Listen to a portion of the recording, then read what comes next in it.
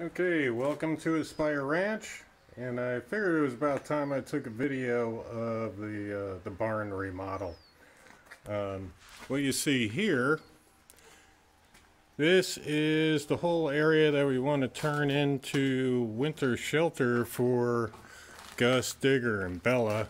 And while the ceiling might be high enough for Digger, who's a 14-hand quarter horse, certainly not enough for Gus. So the idea is we're going to rip out that ceiling. Now, to get started on it, there was about eight tons of old hay up above. I've already taken that all out, and I have started to remove the floor or ceiling. So this is what it's going to end up looking like when it's all done. There'll be plenty of headroom for all the kids, and they'll have themselves a really good winter shelter. And really, this section of the barn was, it was unfortunately just going to waste.